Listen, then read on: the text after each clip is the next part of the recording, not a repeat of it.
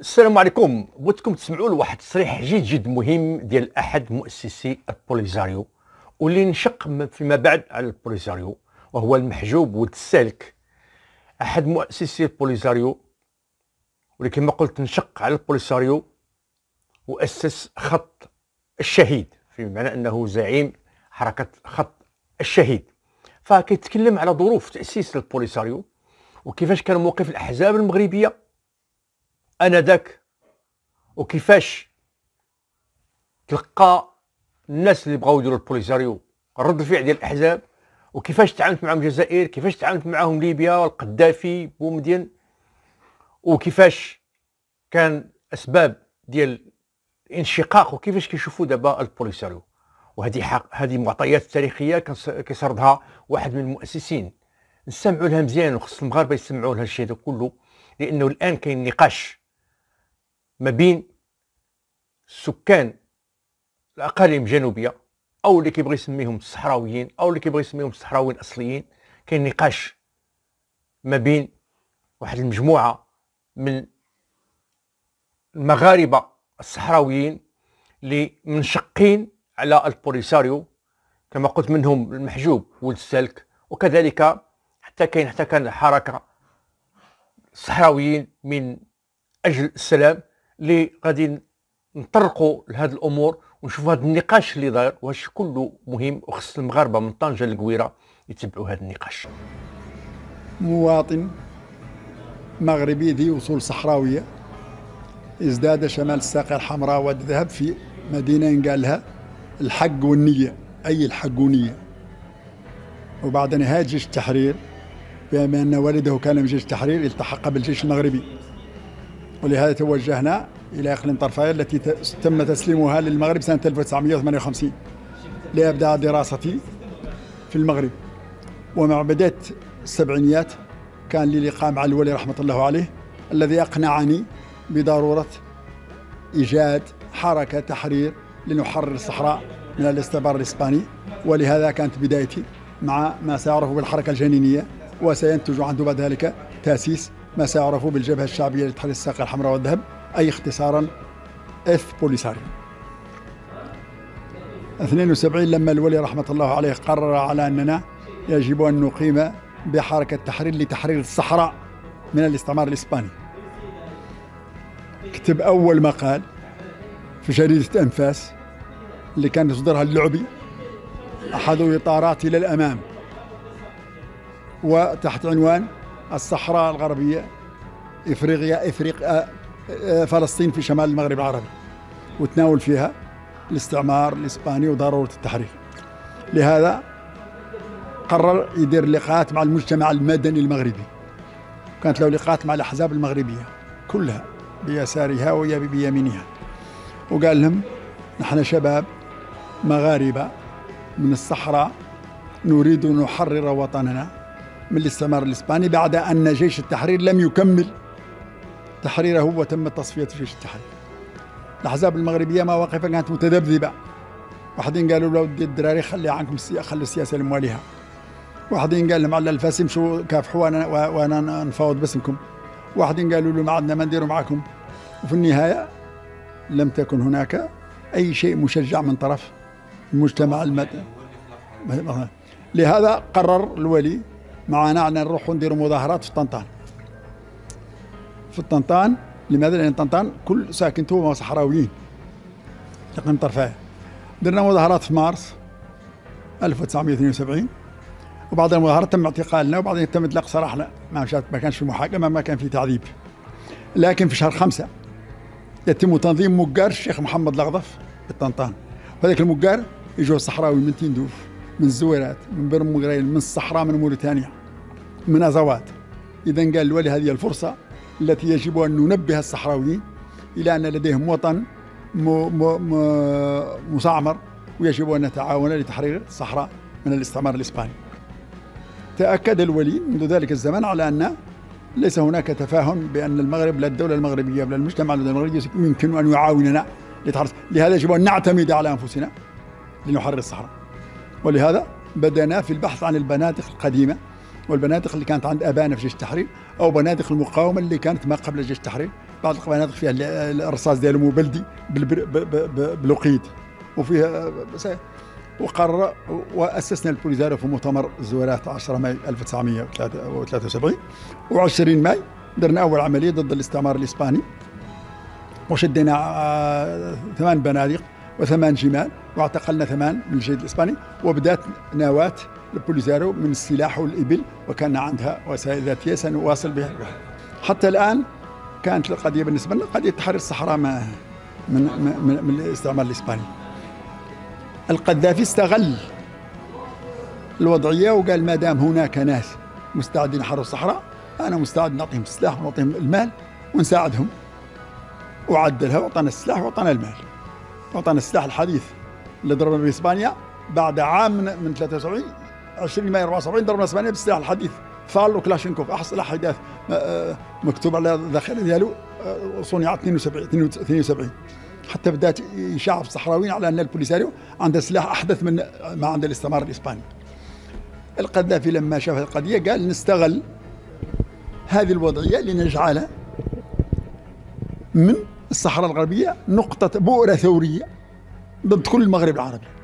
طيحوا بها المغرب ونطيحوا بها النظام الجزائري ونطيحوا بها النظام الموريتاني ونطيحوا بها النظام آه، التونسي. وكان كريما معنا وسخيا معنا في كل شيء. لما علمت الجزائر بأن ليبيا تدخلت وعطتنا السلاح خافت إذا ستكون البوليزار وهي البوره اللي هنا قريب مني أنا تابعه لي. تابعه تابعه تابعة تابعه ليبيا ستؤثر على الوضع الجيوسياسي الأمن القومي الجزائري. تدخلت الجزائر بكل قوتها وعيطت الولي وقالت له ما تيس القذافي ما روح عندنا نحن ندربوك ونسلحوك ونعطوك ما, ما تريد. وفعلا فتحت لنا التدريب في شهر 2 1975 لأني كنت من ضمن قيادة أول دفعة ستتوجه للتدريب لدى الجزائريين وستكون هي نواة ما سيره بعد ذلك. بجيش التحرير الصحراوي. إذا لما تدخلت القوة الكبرى هذه الجزائر وليبيا إذا لم تعد تسمح بأننا بغينا نحرر الصحراء باش نعطيو المغرب. لا خصنا نحرر الصحراء ونديروا فيها دولة ثورية تهدد المغرب وتهدد كل المنطقة وهون فقدت البوليساريو آه التوجه العام عندها آه وبالتالي سيطرت عليها الجزائر سيطر عليها القذافي ولما مشى القذافي سيطر عليها الجزائر وتحولت الآن إلى بيدق في يد الجزائر آه في إطار آه معاداتها. في في لا لا هذه منين؟ مات الولي. الولي ما حد حي ما كانوش قد يفرضوا عليه لا الجزائريين ولا الليبيين أي شيء. الولي إنسان عبقري ومفكر وزعيم ثوري. منين مات؟ استراحت الجزائر. ولهذا فرضت علينا واحد جزائري ذي أصول جزائرية قال له محمد عبد العزيز وزوجهم من واحدة من المخابرات الجزائرية من التندوف مولي وأصبحوا هم المسيرين للبوليزاريو ومن فقدت البوليزاريو استقلاليتها وتحولت إلى بيدق في يد المخابرات الجزائرية تخدم مصلحة الشعب الجزائري مصلحة الجزائر قبل أن تخدم مصلحة الصحراويين وفقدت آه، قدسيتها وطهارتها ونبلها وعلى هذا الأساس أعلنا إحنا المعارضة لهذه القيادة وما زلنا نواصل العارضة لفضح القيادة لأنها تحولت إلى إلى إلى مزبلة للانتهازيين والمصفقين والمنافقين الذين يتاجرون بمعاناة الشبوع الشعوب ودمائها ودموعها. 79 بدأت الاختطافات في البوليزاريو والاعتقالات ومن المصادفات الغريبة ان هذول اللي تم اعتقالهم هم أنا هو مدخلهم البوليساريو اذا معنى متأكد من وطنيتهم. خلاص. ولما احتجيت على قيادة على البوليساريو وعلى مسؤول الأمن تاع البوليساريو قلت له على هذول الناس وطنيين ولا يمكن أن يكونوا. وإذا كانوا هذول هم وطنيين معناها كنا معنا وطنيين بما فيها أنت وبما فيها أنا. تفجر تفجروا عليا. ما عجبهم جو على كاع ندخل في الأمور المخابراتية الأمنية وأنا فقط مسؤول عن الإعلام والدعاية في البوليساريو وهنا كانت بداية النهاية. نتيجة هذا التناقض بعد ذلك بسنتين تم اختطافي وقضيت ست سنوات ونصف في سجن الرشيد. هنا في سجن الرشيد في المخابئ السرية للمخابرات تاع البوليساريو والجزائر بدأت أفكر في معارضة لهذه القيادة لأن البوليساريو فقدت نبلها وطهارتها وتحولت إلى مهزلة ومزبلة للانتهازيين والمصفقين. ولما خرجت من السجون واصلت كفاحي ونضالي إلى أن خرجت عائلتي من جحيم المخيمات وبعد ذلك أعلنت المعارضة في 2014 وما زلنا نفضح قيادة البوليساريو ونظهر على حقيقتها كمجموعة من من عصابة ومافيا تتاجر بمعاناة الشعوب وتضحيتها. هو نحن لما أسسنا خط شهيد انصدمت الناس. اسسناه في 2004 و2004 القيادة كانت كانت تحيط نفسها بهالة من القدسية والإعتبار كأنك إذا قلت في شيء كأنك قلته في الله حاشاه. ولهذا قالوا هذا المحجوم مجنون هو أصحابه مجنونين تجمع القيادة يخونوا القيادة. لكن بفضل صمودنا وإيماننا وقناعتنا بما نكافح من أجله أصبح الآن بعد 15 سنة من تأسيس البوليساريو أصبح الشباب في المخيمات يقولون ضد القيادة كما كنا نقول إحنا 2004 معناها أن نقنعنا الناس على أن هذه القيادة مجرمة فاسدة لا تصلح لشيء وعلينا أن نتعاون جميعا لفضحها. وفي الشارع الآن يسبوهم الشارع لما يتفتح واحد بسيارته يقولوا له هذا واحد من السراري واحد من السراري هو عشيان تقرير ضد الجزائر والبوليساريو منذ 91 وهذه اكرت ظهرت في وسائل الاعلام للبوليساريو. وبالنسبة لي أنا آه، أعتبر التقرير الأخير 2007 03 بداية لحجز قياده البوليساريو والجزائر في الركن لإظهارهم على أنهم فعلا هما العقبة كأداء دون إيجاد حل لهذا النزاع. وهذه بالنسبة لي بداية النهاية بالنسبة لمشروع الجزائر والبوليساريو اللي يتعلق بتحرير الصحراء وبناء دولة في الصحراء. لكن الجزائر بعد هذا القرار الأخير تاع المجلس الأمن 2703 واللي أكدت على أن مشروع الجزائر والبوليساريو ماشي للاضمحلال ماشي للحصار في العالم. حاولت الجزائر أن تنوب عن التضامن الدولي أو ترد على هزيمة قرار 2703 لهذا استقبل رئيس البرلمان الجزائري رئيس البرلمان الصحراوي وصرح لوسائل الإعلام بأن سنة 2024 ستكون هي سنة الصحراء الغربية. وبعد ذلك استقبلوا لا استقبلوا رئيس الوزراء رئيس الوزراء استقبل البرلماني فرئيس رئيس الوزراء اللي تم تعيينه كان هو مدير ديوان الرئيس الجزائري وعينوا رئيس وزراء واستقبل كذلك ثم بعثوا بعدد من لا عدد من وسائل أحزاب قادة الأحزاب الجزائرية للمخيمات للتضامن مع الصحراويين هذا لكي يردوا هذه الضربة ديال قرار مجلس الأمن وليظهروا على أنكم لستم وحدكم ونحن معكم ما دام العالم ما هو معكم بدرها نحن معكم وهذه الدولة معكم معكم لإسكات آه تهدئة ضمائر هذه الشعوب اللي تحاني 50 سنة تحت الحمادة تبحث عن حل. وهذا بالنسبة لي أنا هو تغطية على الهزيمة اللي أصيب بها مشروع البوليساريو والجزائر بعد قرار 27 03 وفي نفس الوقت التعويض عن قلة الدعم وعن التضامن الكبير اللي تلقاه مشروع المغرب اللي يتعلق بالحكم الذاتي. رسالتي إخواننا بالمخيمات على أنهم إخواننا بغينا ولا كرهنا. وعلى أنهم صحراويين مشاو في البداية من أجل الحرية والكرامة والشعارات الرنانه. والآن كانت قيادة البوليزاريو هي أول من أهان كرامتهم وهو أول من مرغ كرامة في الوحل. اذا أظن على أنه ما كان مقبول في السبعينيات والثمانينات لم يعد مقبولا الآن في نهاية القرن الربع الأول من القرن الواحد والعشرين. ويقول لك اللي اللي رأيه ما يتغير بحال الكديه لهذا يجب أن نعرف على أننا لا يمكن أن ننتظر ما لا يمكن أن ينتظر.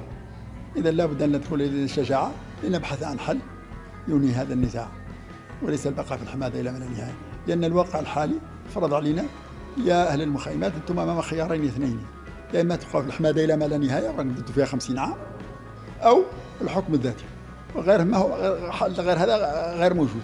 وهذه اللي يجعل على أن يالتنا نفهمهم كإخوة وعلى أخوتنا وجزء من عائلتنا على أنه يجب أن تفهموا يا أهالينا في المخيمات وفي كل مكان على أنكم أولاد عمنا وأخوتنا وأهلنا عندكم أفكار قد تكون مختلفة مع الأفكار اللي عندنا إحنا ولكن يجب أن تفهموا ويجب أن نفهم نحن أيضا هنا في الصحراء على أن محكوم علينا أن نعيش معا أو نهلك معا.